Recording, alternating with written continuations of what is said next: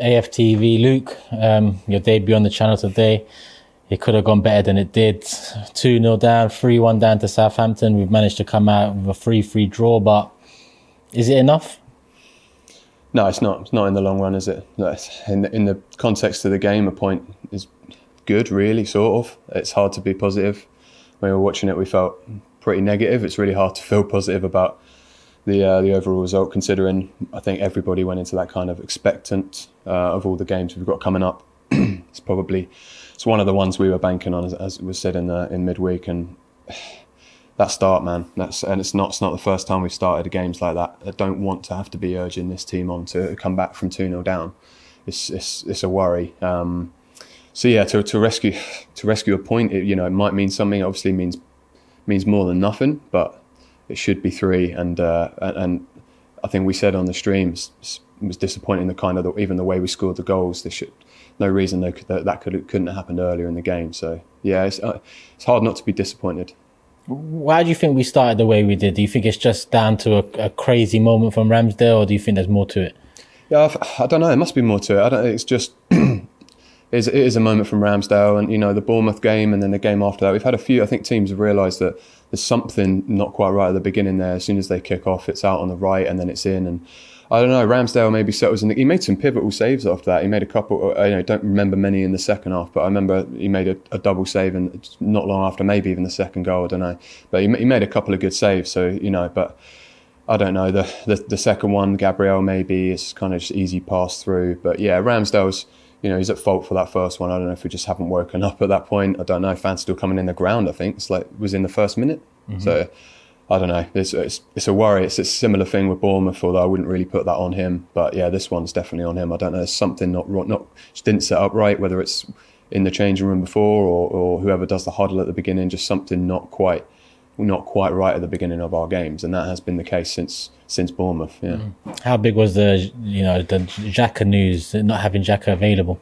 First, I didn't think it would be as big of a deal. If I'm honest, I, will be really honest. I, I, wasn't. You know, I thought, okay, if it, I don't know if it was illness. I can't remember what was confirmed, but I thought it was. You know, well, chance to see Vieira. I wasn't wasn't gassed to, to see Vieira. I won't lie, but um, I don't scapegoat him entirely either. But but I think we really missed it. And actually, what you know, okay, he's got a, obviously ability and he's he's having a really good season. But what I think he brings in a in a leadership way. He's obviously a leader. I know he's not the captain anymore, but he's he's pretty much considered off you know off the pitch a captain. And I think I think we missed that just calm headed. You know, we've been looking at Zinny and and Jesus, and I think Zinny was actually one of the like we said, said on the stream was one of the most passionate, not passionate, emotional mm. is the word to use. And and he lost his head. You know, wild tackle quite early on. Um, yeah, so I don't know. I think the people we, we sort of look to to try and maybe calm us down because Ramsdale would have lost his head after that first. You know, he, he wouldn't have been out of the races.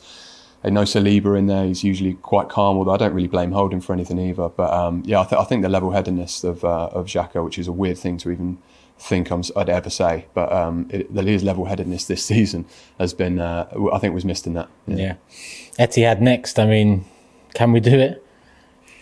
We were saying, I don't know, so one of it's it's a game, but it's it's nothing's filling me with confidence in that. And if if Jesus if Jesus squanders as many chances as we have, if we get as many chances as that, basically. But I mean, if we if we if we pull off that first twenty minutes at the Etihad, it's four, it's five, hundred percent. There's no City are City are that ruthless. Um, there's uh, you know we're to have to everything's going to have to go our way in that. Um, everybody's going to have to turn up. Um, yeah, it's going to be well, it's not, it's going to be interesting. It's going to be awful. I absolutely hate watching that game. But look, if we if we if we get a result there, obviously it's it's I don't know. It's game on. I don't think it's entirely over. It's sort of kicking the can down the road, if, if for for want of a better expression. But yeah, it's it's it's a tough one. Tough one today. I think the Etihad is going to be well. It was already the biggest game, but now we're sort of going in it thinking, well, yeah, they've they've got they've got those two games in hand as well. So it's just it's massive. It's absolutely massive. I can tell you're very deflated and uh, understandably so.